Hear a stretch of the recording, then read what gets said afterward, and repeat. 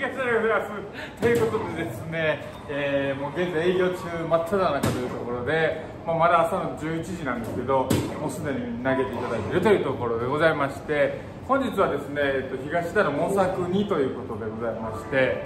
まあまあその調子が上がらないわけですよ。前みたいにレーティング17点何本とかあってまあハウトゥーじゃないですけどレクチャー的な動画はちょっとこう信用に欠けるというところでえー、まあ、今実際僕が何をやってるかをお伝えしながら皆様の参考になればなというところでレッツゴーはいということで、えー、まずは僕の今の投げ方ですね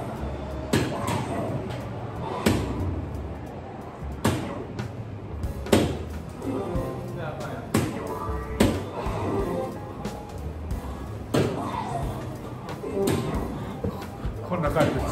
ていうところでまあ何しちょっとね手首が硬かったりなんかうまくこうバランスが取れてないのか、えー、なんていうんだろう予想だにしない外れ方をしたりとか。まあそれでもまあ WA はキープしてるので全体のフォルム的には全体の見た目的にはまあマシな方なのかなと思いながらですね。でいざじゃあ実際何をやってるのかっていうとさっき言った全体のフォルムを一生懸命やってます。だから表現が難しいんですけど要はその投げててこう指先が遊んだりとかあと、まあ、手首がよく僕は硬くなるんですけどこうギチギチにこう固まってしまってカッてなったりとかったりとかするのでそこをめちゃくちゃ考えてたんですよ。えっ、とどうやって力を抜くことことことことことこと とかを考えてたんですよ。とかまあいろんなことを考えた上で一旦ちょっと全体のフォルム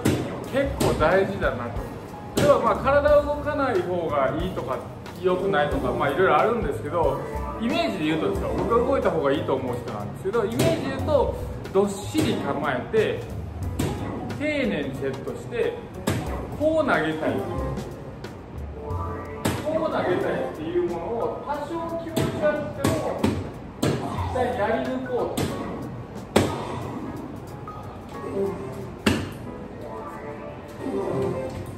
まずはその中で、えー、さっきの3本目みたいに調整していこうとか、えー、動じないようにしようと。えーと体が気持ち悪い指先でなんか遊んでいる腕がこうどこの方のなるに引っ張られて無理やり修正していくのではなくて自然な動きの中である程度表現でいうとハマるものを自分の中で見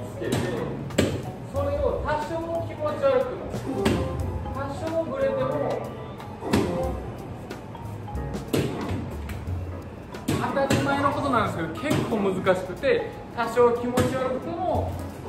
やりきってしまう。ただそこに例えば、えーと、変ななんていうの無理やりの動作が入るとまた少し違うんですけど、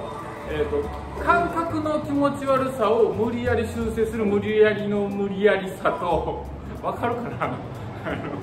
えと、体を例えばこうねじってねじってあーしんどいけど無理やりまっすぐを作ってる無理やりとはまた別の話です。僕が今言ってるのは多少感覚が気持ち悪かったり手首がしんどかったりいろんな、まあ、うん気持ち悪さと戦いながら今投げてるわけですけど感覚の部分ですね、えーと、体構造上の無理やりじゃなくてあ気持ち悪いけど無理やり投げてそれを無理やり修正してっていうのではなく多少の無理やりを受け入れた上でフォルムを作っていくこと。いや分かるかなこれ。このギリギリのカメラギリギリを攻める。いうことで、え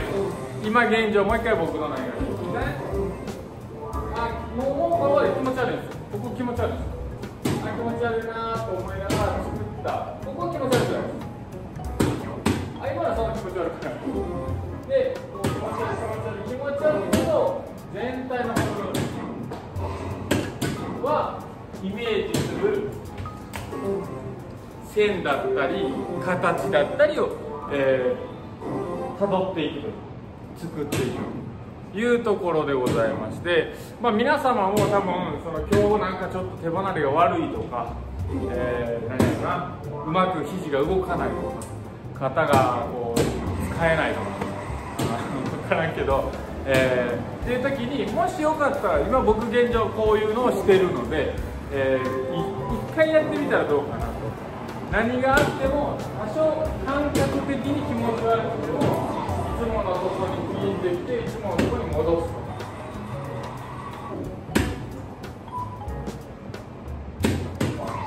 こんな感じでぜひやってみてください。やってみてくださいもおかしいな。やってみたら。違うな。ということでまたお会いしましょう。さよなら。